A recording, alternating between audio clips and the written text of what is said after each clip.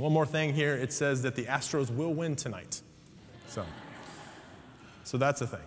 We're going to be getting a new series this week that I will speak more about in just a minute, but I'd like to invite Norland to come up and read our scripture this morning from the book of Galatians. So take a listen as Norland leads us in the scripture.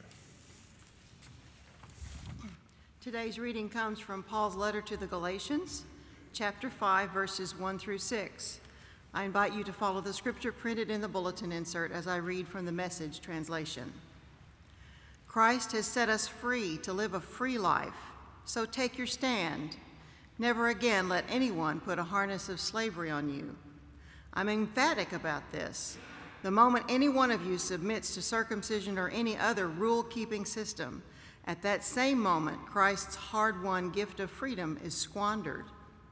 I repeat my warning the person who accepts the ways of circumcision trades all the advantages of the free life in Christ for the obligations of the slave life of the law.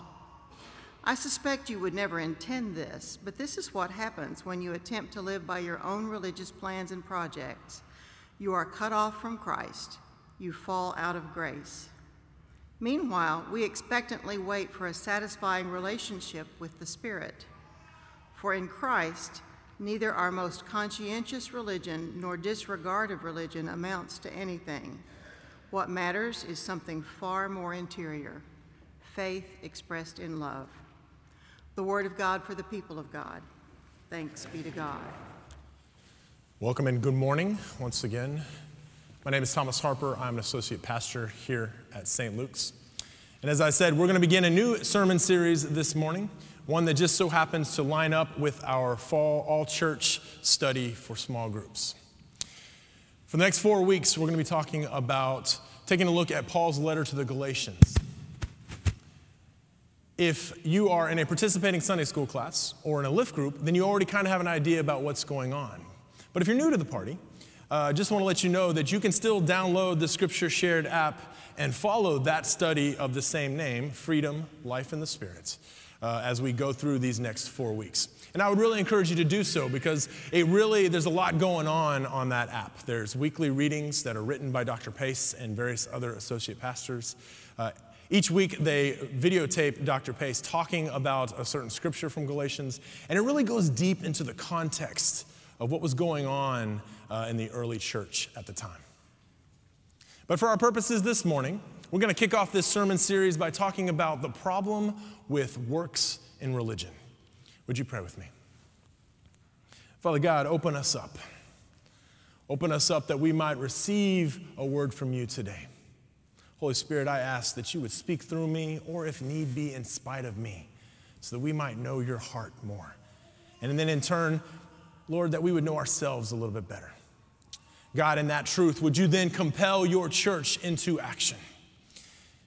In your Son's name we pray, Lord Jesus. Amen. So, most scholars believe that Galatians was one of Paul's earliest written letters, happening somewhere around 50 to 55 AD. And if that's true, then that means that the writing of Galatians actually predates the writing of the Gospels. Jesus died around 33 AD, but the Gospels about Jesus' life, death, and resurrection weren't actually written until, say, about 70 to 90 AD. So that means in Galatians, we're really only about 20 years removed from the life of Jesus. That would be like if I stood up before you this morning telling stories about the Rockets' back to back NBA championships that took place in the mid 90s. Now, sure, there might be some of you here who don't have a recollection of that or weren't around or missed that. But for the most part, most of you know exactly what I'm talking about because you lived it. You saw it with your own eyes.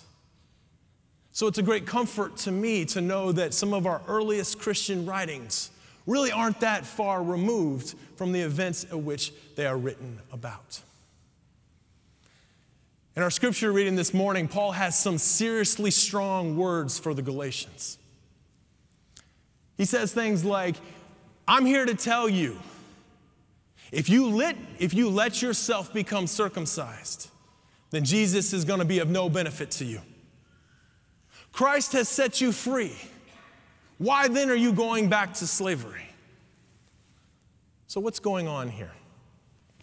Well, Paul is speaking to a group of Gentiles, which means people who are not Jewish. And he's telling them that you don't need to follow the various customs and laws of the Jewish faith in order to be a follower of Jesus. Apparently, what happened was Paul is on his mission to bring the gospel to the Gentiles, preaching the good news of Jesus Christ, and people are getting it. People are being transformed, they are being uh, empowered by the Holy Spirit and praising Jesus' name. But then some other religious leaders come in behind Paul and say, Hey, it's great that you love Jesus and all. But if you really want to be his disciple, if you really want to follow him, then you need to be circumcised. You need to become a Jew. And this ticks Paul off and prompts him to write this letter to the Galatians, saying, Why are you listening to these people who are telling you that you have to become circumcised? Haven't you already received the Holy Spirit? Why then would you heap a bunch of worthless customs and laws on top of that?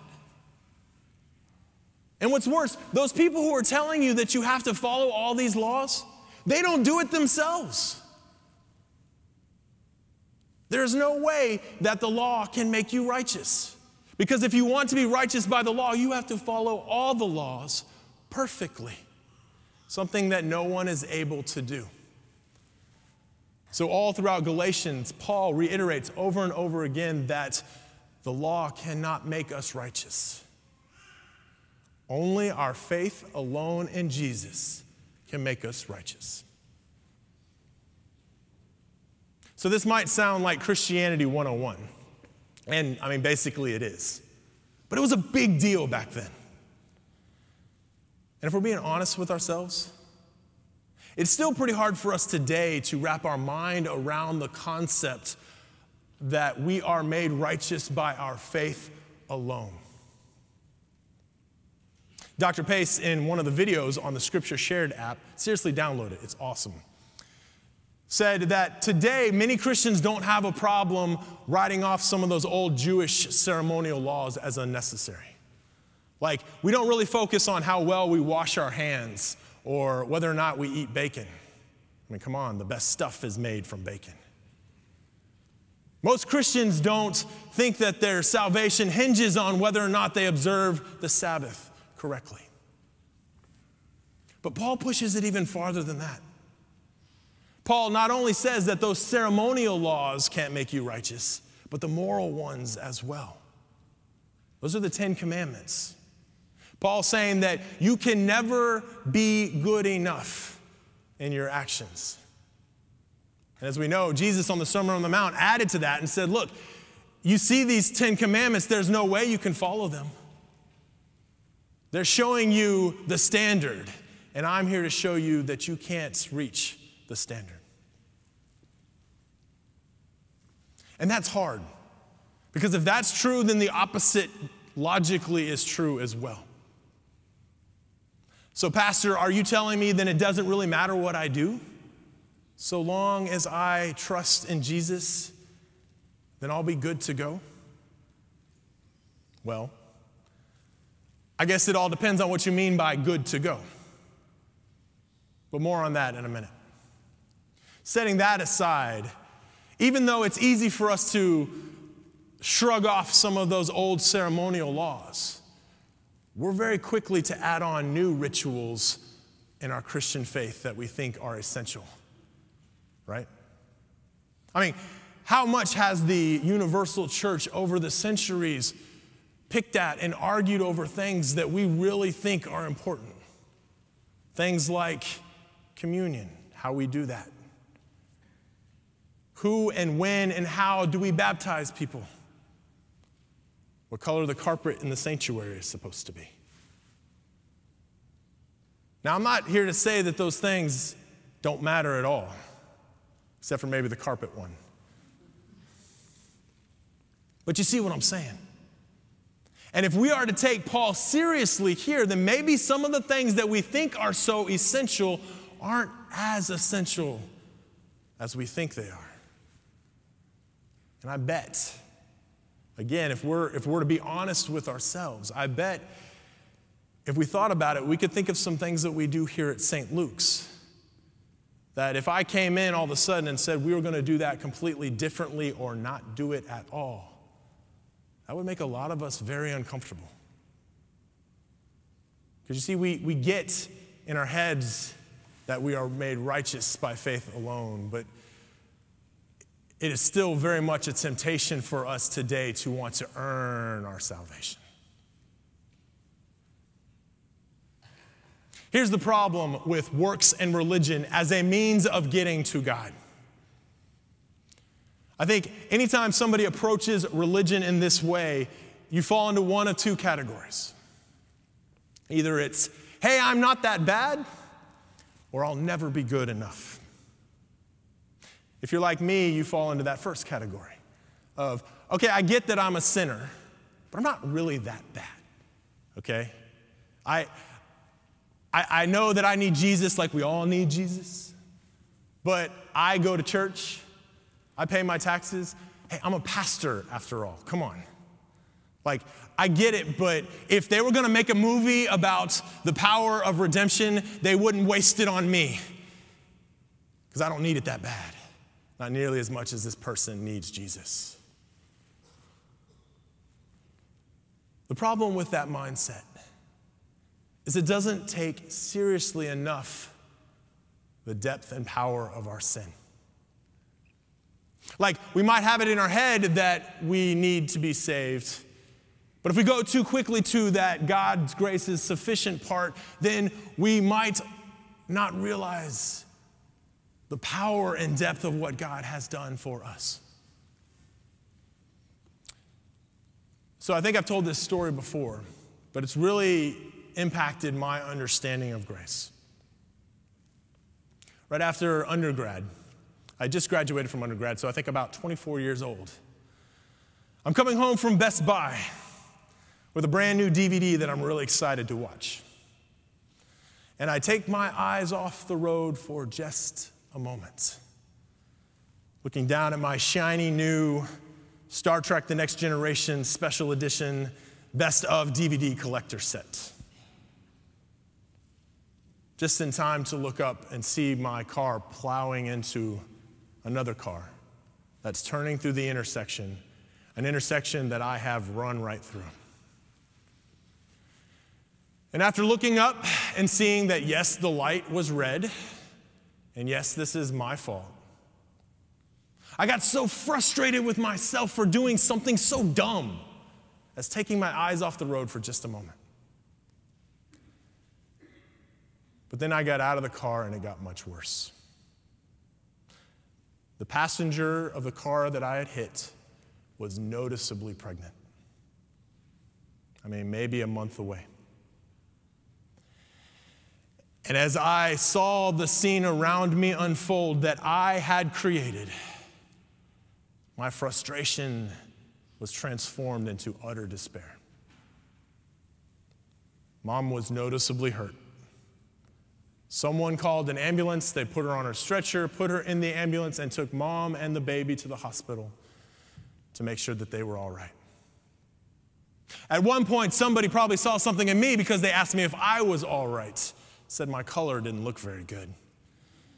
And I got down on my knees as I was just overwhelmed in the moment. After things started to break up, the officer on the scene came to me and wrote me a ticket for running a red light and said, Okay, you're free to go. In that moment, I felt like I deserved to go to jail for what I had just done. When I got home, I walked around the neighborhood just pleading with God, saying, God, please, you make sure that baby and mama are okay. I don't care what happens to me, but that baby's got to be okay. And then I hear God say this to me in my heart Thomas, now you have a better idea of what I died to save. now you have a deeper appreciation of my grace. Because the simple fact is either Jesus died for it all or Jesus died in vain. There is no sliding scale of goodness that we could ever be good enough to make Christ's sacrifice unnecessary. And in that way, it's the same no matter who we are or what we've done. Mama and baby were okay. I think the last time I told this story, I forgot to mention that part.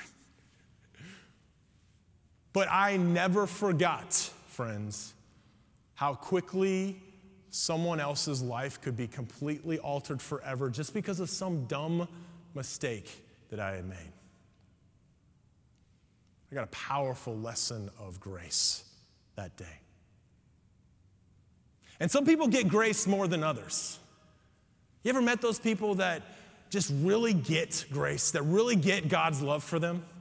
I don't know, you know, sometimes they, they've been uh, set free of some addiction or something has happened in their life that they are majorly forgiven and it just bleeds into every area of their life. Like they just have so much supernatural love for people. Some people get grace more than others. I'm here to tell you that one day we will all get grace like that. Or maybe you're on the other side. Maybe you know you're a dirty, rotten sinner, and it shapes your entire identity. Oftentimes, this is because of something that you did or did not do that has now formed and shaped your opinion about who you are. Like, Pastor, I hear you saying nice things like Jesus died for us and can forgive whatever our sins, but you don't know what I've done. All those nice, churchy sayings don't apply to me. And if you did know what I have done, you would be disgusted and ask me to leave. Maybe you see God less as a loving parent and more as an authority figure that just hasn't gotten around to punishing you yet. Maybe you've been feared into believing in Jesus because hell is not really that nice sounding of a place. Have you ever met someone who, when they pray, all they seem to focus on is how bad they are? They keep God at a distance because they do get the depth of their sin but there's no understanding of the love and grace that would compel a creator to make that sacrifice for them in the first place. See, that, that side doesn't work either as a means of getting to God. Here's how Christianity is different Christianity, out of any other religion, is a relationship based on a relationship with God, not on a list of rules in order to appease God.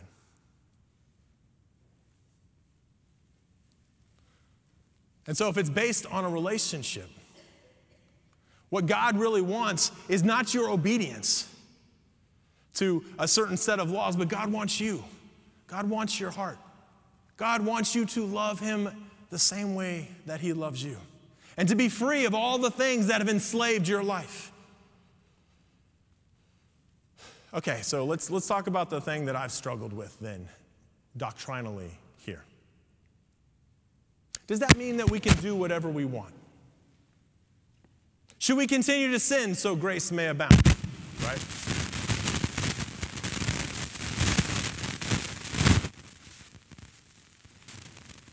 Stay here. I like to move, man. It's hard. All right, I'm going to stand right here. I can tell that I'm getting into bad waters when uh, stuff is happening. If Jesus has died for our sins, yesterday, today, and tomorrow, right? Jesus has paid it all. Then what you're telling me logically is that I can do whatever I want in my lifetime and it doesn't matter so long as I believe and trust in Jesus in the end, right? I mean, that's what you're saying. Well, if you really want to push it there, then I think the answer is yes. That's right. But the problem with that question is it's still rooted in that works righteousness mentality. So if you really pushed Paul, I think you would say, yeah, okay, you're free to do whatever you want. I can be all things, I'm free to do anything. But I'm here to tell you the more you get to know God, the more you love God, the more what you want to do will be the very thing that God has for you.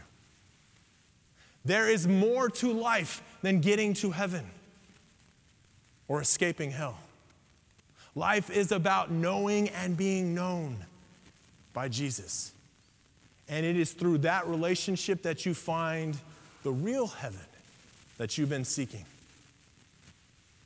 So, if it's about a relationship, we can move past the legalism and focus on the relationship. So, my wife and I have been married for about seven years now, and we have two kids that are under four. So, we're like in this thing together, right? We're more than just two people throwing money into a mortgage or trying to keep two human beings alive. We are married and committed to one another. Now, it's important that we never say never. We realize that there are temptations in the world, and we would never say that it could not happen to us. But yeah, for the most part, we trust each other. We're not going anywhere. We're not going to get divorced. But our marriage is about more than just not getting divorced. If on our wedding day we said our vows to one another and high fived and said, okay, we're married forever, but they never talked to each other, well, that would be a pretty empty marriage. That would be a pretty empty life. Same thing is true with our relationships with God. We go to church, we read our Bibles, we pray and spend time with God, not so that we could just stay married to God, but that we could deepen our relationship with Jesus. In the same way that I need to date my wife after we have gotten married.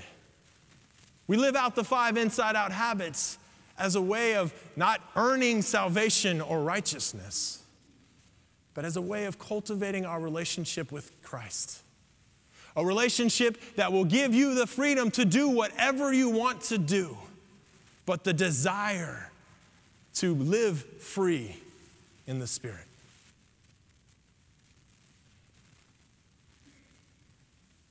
So, what do you need to hear this morning?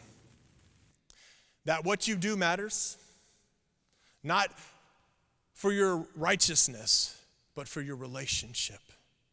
A relationship with God that bleeds into all of the other areas of your life. A relationship that will set you free from the bondage of both yourself and of the world. A relationship that will find in the very nature of what it is that you were created to desire. So, yeah, in that regards, what you do absolutely matters. There is real pain and real brokenness outside of our relationship with Christ. Or do you need to hear that you are good enough? Again, not because of what you did or did not do, but because of what Jesus Christ has done for you. At the end of the scripture, Paul says, We eagerly await the hope of our righteousness. Have you ever eagerly awaited something? Maybe you're eagerly awaiting the Astros' first World Series championship. Friends, that's got nothing on this. One day, one day, all of your desires, pursuits, dreams, and passions will come aligned into the will that God has for you. That means that you will no longer want or desire anything that is not life giving for you. There will be no temptation or sin or brokenness in your life anymore when we have become fully redeemed in Him. That's the heaven, friends, that we seek after. So receive the hope of your righteousness through faith. And then get to know the one who is responsible for that hope. Let's pray. Father God, I thank you that a message that is so simple is still something that tugs at our hearts. It's still something that is hard to grasp, that you would cross the distance for us.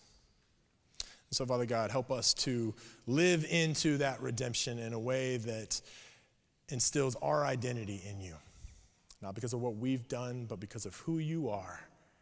And then may we continue to fall more and more in love with you. In your Son's Jesus Christ's name we pray. Amen.